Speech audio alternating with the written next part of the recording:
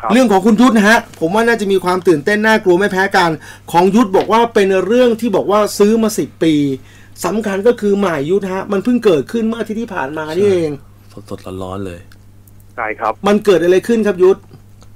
ก็คือผมเนี่ยฮะเป็นคนที่ชอบสะสมเครื่องดนตรีอืมนะครับ ก็ซื้อพวกกีตาร์เอยแอมป์เอยเอฟเฟกต์เอยอืมก็จะเก็บไว้เยอะพอสมควรที่บ้านแบบจะมีเยอะมากกันนะครับ นะฮะก็จะมีผมจะมีเก็บไว้บางส่วนอืมที่บ้านแม่ผมครับนะครับ ที่อยู่ตรงแถวพระรามสองซึ่งผมเนี่ยนานๆจะกลับมาบ้านแม่สักทีหนึ่งอืมจนอาทิตย์ที่แล้วเนี่ย ผมก็กลับมาบ้านแม่ แล้วก็รู้สึกสนุกก็เลยซื้อลื้อของเก่าๆออกมานั่งเล่นครับนะครับ ก็ไปเจอที่ห้องเก็บของมันจะมีแอมอันหนึ่งฮะอืมเป็นแอมหลอด ที่ผมซื้อไว้สิบปีที่แล้วได้อืมนะครับ ครับซื้อไว้โดยที่ตอนที่ซื้อมาเนี่ยไม่ได้ลองเลย เพราะว่าซื้อบอกตรงๆว่าซื้อเพราะว่าราคามันถูกกว่าราคาท้องตลาดครึ่งหนึ่งครับนะฮะซื้อมาก็บอกว่าเออไม่ได้อยากได้หรอกแต่ว่ามันถูกก็เลยซื้อมาเก็บไว้ อาทิตย์ที่แล้วเนี่ยก็เลยขนออกมาอืมอยากรู้ว่าเสียงเป็นยังไงเสียงใช้ได้อยู่ไหมครับก็เอามาต่อไฟอะไรเรียบร้อยนะฮะเปิดสแตนบายไว้ให้หลอดมันอุ่นครับนะครับ ก็ครั้งแรกที่ผมเสียบกีตาร์เข้าไปดีดปึ๊บ แอมมันก็ดังอืมวิ่งขึ้นมาเป็นเสียงกรี๊ดคล้ายผู้หญิงร้องอืมนะครับผมก็ตกใจรีบปิดแอมก่อน อืมผมว่าเฮ้ยแอมเราถ้าจะพังอืมแต่ทำไมเสียงร้องเนี่ย ผมก็เล่นเล่นกีตาร์อืมเล่นเครื่องดนตรีมาเยอะครับเสียงวีดอย่างเงี้ยมันก็ผิดปกติเหรอคือคือแอมที่เสียเนี่ยผมเคยฟังครับพี่อืมแต่ว่ามันไม่เคยเสียงแหลมเหมือนเสียงผู้ครับหญิงขนาดนี้ อันนี้คือเหมือนเสียงผู้หญิงกรี๊ดออกมาหรือว่าใช่กรี๊ดขึ้นมาเลยร้องอืมก็ยีดขึ้นมาเลยครับ ผมก็เอ้ยเดี๋ยวก่อนตั้งสติก่อนอืมโดยที่ตัวผมเองเนี่ยไม่ค่อยเชื่อเรื่องพวกนี้ แต่ชอบฟังอืมนะฮะก็เลยบอกเอ้ยแอมเราน่าจะเสียละถอดไฟก่อน อืมรีบเอาสเปรย์ทั้งหลายสเปรย์ที่เป็นครับเขาเรียกอะไรนะสเปรย์อเนกประสงค์อืมเอามาฉีดตามรูแจ็คตามที่เป็นครับปุ่มวอลลุ่มทั้งหลายว่ามันคอกแคกอืมหรือเปล่าอืมนะฮะแล้วก็เช็คไฟว่าปกติไหมครับก็ออกมานั่งมอง เอ๊ะ เราได้ยินเสียงอะไรอืมแล้วก็กลับมาตัดสินใจกลับไปเปิดแอมป์อีกทีหนึ่งครับครับ นะครับ พอเปิด power ปุ๊บผมได้ยินเสียงเป็นผู้หญิง บอกว่ามึงอย่ายุ่งกับกูโอ้แล้วก็กรีดอีกอืมพอกรีดเขาวนี้ผมตกใจแล้วครับรีบกระชากปลั๊กออกอืมแล้วก็มานั่งนอกบ้าน แม่ครับก็ถามว่าเอ้ยแกเป็นอะไร อืมผมผมเอ้ยผมได้ยินเสียงแปลกๆจากแอมป์ผมอ่านะฮะก็เลยบอกว่าแม่ลองอีกรอบไหมครับ ส่วนแม่ผมบอกว่าอย่าลองเลย แล้วก็อืมเอาแอมป์ตัวเนี้ยมาตั้งไว้ข้างนอกบ้านตั้งแต่อาที่ที่แล้วเลยครับยังไม่ได้เอาเข้าบ้านเลยอ๋อเหรอครับอ๋อแล้วยังไงครับ ก็ไม่กล้าลองอีกนะก็เลยตั้งไว้อย่างนี้ แล้วผมก็เลยคุยกับเพื่อนผมอืมวันที่ผมไปซื้อเนี่ยครับผมเป็นเพื่อนที่ทำงานเก่า ผมก็โทรไปถามพี่พี่จำได้ไหมว่าเราไปซื้อแอมป์กันตัวเนี้ยอืมอืมซึ่งพี่บอกจำได้ครับเจออะไรเหรอ ผมก็เล่าให้พี่เขาฟังว่าผมเจอเรื่องอย่างเงี้ย ได้ยินอืมเสียงวีดอย่างเงี้ยแกก็บอกว่า ยุดกูว่าแล้ว อืมมันแปลกครับ ๆเพราะคืนนั้นเนี่ย คนขายอยู่สระบุรีครับ แล้วเขาก็นัดอืม ผมตอนสี่ทุ่ม อืม ผมกับพี่คนเนี้ยไปกับผมด้วยเพื่อไปซื้อด้วยกัน ครับแล้วคือแอมเนี่ยครับ ปกติเนี่ยแอมจะไม่มีใครเอาอืมเขาเรียกอะไรฮะเหมือนแรปด้วยครับด้วยด้วยพลาสติกอะฮะเขาพันอืม พลาสติกมันหนามาก ครับผมก็ยังงงๆเอ๊ะทำไมต้องพันพลาสติกมาให้เรา แล้วก็ ขี่มอเตอร์ไซค์มาให้เราปุ๊บส่งของให้เรารับครับตังค์ไปเก้าพันบาทอ่าแล้วเขาก็รีบจากไปเลยครับนะฮะก็เลยคุยกันบอกว่าเออมันก็แปลกๆตั้งแต่วันที่ไปรับของแล้วอืมแล้วก็พอมาเจออย่างนี้ก็เลยเนี่ยครับตอนนี้ก็ยังตั้งอยู่พี่ไม่กล้าลองพี่ป๋องจะเอาไปลองไหมครับเดี๋ยวนะเดี๋ยวนะยุทธพี่พยายามตั้งสติก่อน ตอนนี้แอมมาบอกพี่บอกว่าไอเหตุการณ์ที่ว่าเนี่ยมันเกิดขึ้นเมื่ออาทิตย์ที่ผ่านมา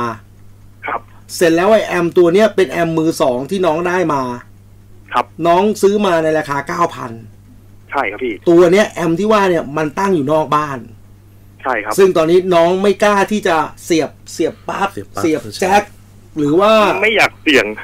ไม่อยากเสี่ยง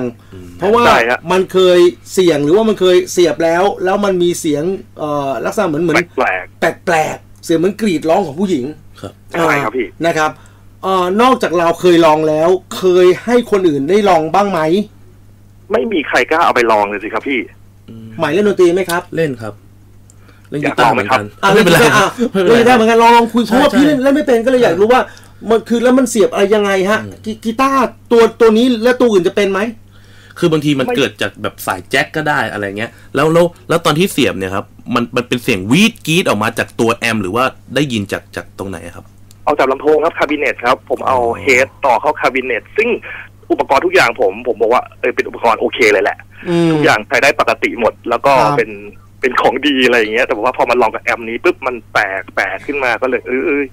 สยองเดี๋ยวนะพี่พี่ถามแบบไม่รู้ก่อนนะ เพราะว่าใหม่กับยุทธเล่นดนตรีครับแล้วก็เล่นกีตาร์กันทั้งคู่เอ่อของมือสองพี่เป็นคนชอบซื้อของมือสองเหมือนกันครับของพี่จะเป็นพวกแนวของเล่นอ่าแต่ว่าถ้าเป็นเครื่องดนตรีพี่ไม่เคยซื้อก็เลยไม่แน่ใจว่าถ้าเป็นเครื่องดนตรีเขาซื้อของมือสองกันใช้ไหมฮะก็ก็ซื้อนะบางรุ่นอะไรเงี้ยที่แบบ ดีๆเงี้ยพี่เพราะว่าถ้ามือสองราคาถูกกว่าหน่เออยอะไรเงี้ยครับอเออก็ยังซื้ออยู่แต่มันเพราะว่าคือของใช้ไฟฟ้ามันเราซื้อมือสองมาคุณภาพคุณสมบัติ หรือว่าความการใช้งานมันจะไม่ไม่ไม่ไม่ไม่ตกลงไปเหรอนี่ผมไม่รู้ มันมันก็มีไม่นะพี่อืมเหรอคุณภาพเสียงมันโอเคพี่ถ้าของดีๆอะมันก็ยังดีอยู่เหมือนกันอ๋อถึงมันจะเป็นของมือใช่สองครับใช่ครับเหรอฮะแล้วราคาใช่ครับจริง ๆ ของมันเนี่ย ถ้าสมมติว่าเป็นของใหม่ป้ายแดงไอแอมตัวที่ว่าเนี่ย ราคามันจะประมาณเท่าไหร่ครับ น่าจะต้องมีห้าหมื่นขึ้นนะครับพี่แล้วนี่เราได้มาในราคา9,000เก้าพันครับ อืมนะฮะคือการที่ยุทธโทรมาแบบนี้เนี่ย แล้วยุทธบอกว่าตอนนี้วางแอมอยู่ข้างนอกบ้าน มันทำให้พี่อยากจะถามว่าไม่ลองมาซะหน่อยเหรอเอาอีกแล้วครับพี่ดึกแล้วนะครับไม่ไม่แต่เปิดเปิดเสียงเบาๆไงพี่เพราะว่าพี่ยุทธผมก็ก็อยากฟังกันนะว่าถ้าเสียงเนี้ยมีพวกเราฟังอยู่ด้วยเงี้ยเออจะจะเป็นเสียงยังไงอะไรเงี้ย ได้ได้ไหมพี่เออตอนนี้จะไม่สะดวกครับเพราะมันต้องเอาไปต่อคาบิเนตนะครับนี่มันเป็นเฮดนะฮะอ๋อมันต้องอัลากนนี้พี่ไม่รู้คาบิเนตอันเอานี้ไว้พี่ไม่รู้ละใช่ก็ครับคือตัวกล่องสี่เหลี่ยมข้างบนที่วางไว้บนลำโพง มันทำไมมันมันใช่ครับเสียบแล้วมัมันนจะต้องต่ออีกหลายอย่างเลยครับเอาเหรอฮะใช่มันต้องผ่านอะไรเงี้ยพี่อ๋อเหรอแสดงว่าไม่สะดวกไม่ไม่สะดวกครับพี่แล้วแล้วจากนี้ไปยุทธจะทำยังไงกับแอมตัวนี้ครับ ก็ยังตั้งไว้อยู่อย่างเงี้ยครับยังคิดไม่ออกเหมือนกันจะไว้ไหนพี่แล้แม่วก็บอกว่าไปให้วัดไหมผมบอกว่าสุภะที่ไหนจะเล่นกีตาร์อ่าถ้าอย่างนั้นเนี่ยสมมุตินะ พี่ยังนึกนึกต่อนะ ก็ครับในเมื่อซื้อมามือสองก็ในเมื่อเราใช้แล้วมันอาจจะไม่โอเค เราก็ขายต่อเป็นของมือสองไปไหมอะเออก็ก็เพื่อนๆที่อยู่เล่นกีตาร์ด้วยกันเขาก็รู้หมดแล้วคงไม่มีใครอยากได้แล้วครับพี่ ไม่นะเพราะพี่มีกลุ่ม พี่มีกลุ่มที่เป็นอ่าคนขายของมือสองอะ มันขายทุกอย่างเลยนะครับตั้งแต่สักกระเบือยันเรือรบเลยนะสมมติเราก็เราก็โพสต์ขายใช่ซึ่งอันนี้ผมพูดก่อนว่า มันอาจจะเป็นแค่ยุทธคนเดียวที่เจอ คนอื่นได้ไปเขาอาจจะไม่เป็นอย่างนี้ก็ได้นะครับ ครับฉะนั้นคือถ้าไงเราคืองั้นมันยังไงมันจะทิ้งไว้อย่างนี้เหรอใช่หรือไงยุทก็ธยังยังยังคิดไม่ออกก็ยังจะไว้อย่างนี้ไว้ก่อนตั้งเอาไว้ก่อนอะไรอย่างเงี้ยฮะแล้วเดี๋ยวถ้าโรงเรียนไหนบริจาคผมอาจจะไปบริจาคโรงเรียนอะไรเงี้ยครับ อ่าโอเคโอเค เพราะว่าการนำไปให้วัดพี่ก็ไม่เห็นด้วยอะครับ ไม่ใช่ว่าพอครับมีผีอยู่ในอุปกรณ์อะไรก็ตามแต่ก็ไปให้วัดหมดผมว่านี่ไม่เห็นด้วยอ่านนะครับอันนี้เห็นด้วยว่าอะเอาไปบริจาคโรงเรียน ครับ ใช่ครับพี่ได้ไหมพวกชมรมดนตรีอะไรเงี้ยพี่ผมก็ว่าคิเด็ดกอต้อยู่งครับการว่าจะไปให้อยู่ครับ แต่ไอของที่เอาไปอะเราเชื่อว่ามีผีไงแล้วโรงเรียนเขาจะรู้ไหมแล้วต้องบอกเขาไหมเราอย่าบอกเลยพี่เออต้องบอกไม่ผมมึงถามไงนี่เราคือคุยกันแบบพี่น้องคุยกันถูกไหมครับเอออะถ้าเป็นใหม่อะ ถ้าเป็นผมอะเอาใหม่เจออย่างยุทธอะอะแล้วใหม่จะไปฝากโรงเรียนยังไงจะบอกโรงเรียนว่ายังไงอะถ้าเป็นผมผมจะไม่แสดฟังงว่าเรียนแสดงว่าเราไม่ได้มาให้ด้วยความจริงใจถูกป่ะใช่เราคิดว่ามีผีอยู่ในแอม เราถึงเอามาให้โรงเรียนไงอะเออ ประกาศขายในเพจไหมดีกว่าไม่ยุทธใช่เพราะว่าถ้าอย่างครับพี่บอกว่าถ้าพี่ซื้อมาห้าหมื่นเนี่ย แสดงว่าแอมพี่เนี่ยก็ต้องมียี่ห้อนี่มียี่ห้อแน่นอนครับ ใช่ มียี่ห้อแล้วถ้าคนต้องการแปลว่า ถ้าประกาศขายเนี่ย ก็ก็น่าจะมีคนซื้อ เต็มคือห้าหมื่นครับ ตอนที่ได้มาคือเก้าพันถูกไหมอะถ้าขายก็จริงๆถ้าในส่วนตัวผมนะครับใครอยากจะลองก็เอาไปลองได้เพราะว่าผมก็ไม่ได้ใช้มันอยู่แล้ว ไม่ได้ซีเรียสอะไรขนาดนั้นหรอกครับ ไม่ได้ซีเรียสเรื่องว่าต้องขายไม่ขายอ๋อแสดงว่าเขาไม่ได้ซีเรียสเรื่องสตางค์อ๋อเออแสดงว่าถ้าในกลุ่มก้อนเพื่อนฝูงหรือใคร อยากจะเอาแอมตัวนี้ไปใช้ไปลองก็ได้ ยินยินดีเลยครับ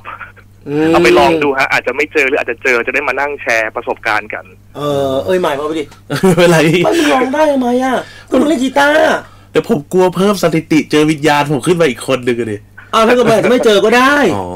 ก็ไม่แน่นะ หรือแฟนรายการคนไหนสนใจอะ แล้วถ้าถ้าสนใจยังไงฮะ เข้าไปติดต่อไงอะ ก็ยังไงพี่ติดต่อผ่านพี่ป๋องก็ได้มั้งเอาได้ได้ได้ติดต่อผ่านผมแล้วกันนะนะฮะคุณยุทธหรือหรืออย่างนี้ได้ไหมครับ ถ้าถ้าในในก่อนก่อนหน้านี้ถ้าเกิดมีใครขอไปลองเนี้ยลองถ่ายคลิปได้ไหมแล้วก็ส่งมาที่เดอะช็อคเนี่ยว่าตอนตอนเสียบแล้วเนี่ยมีมีเสียงยังไงเงี้ย